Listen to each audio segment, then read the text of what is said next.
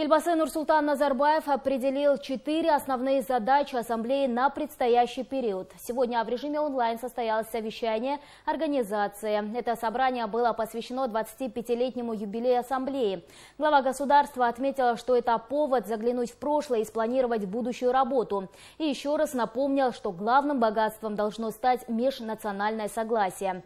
Ассамблея народа Казахстана родилась на пороге эпохи в 1995 году созданная в трудный период как костяк нашего единства, выполняет возложенную на нее священную миссию. Более 130 национальностей и народностей живут дружно под одним шаныраком.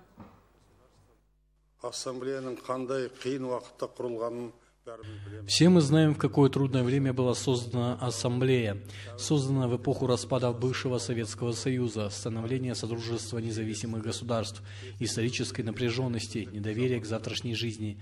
Но именно тогда мы приняли что-то для себя. Межнациональное согласие должно стать нашим главным богатством.